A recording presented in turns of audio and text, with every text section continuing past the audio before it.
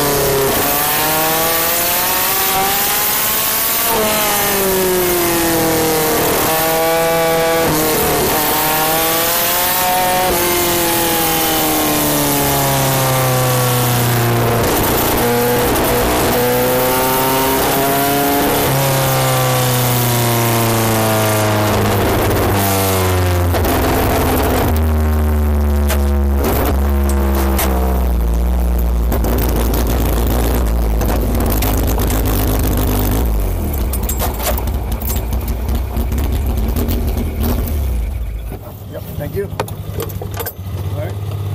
We're gonna let these things cool down. Mark's gonna be, I'm to talk. Okay. Alright? Yep.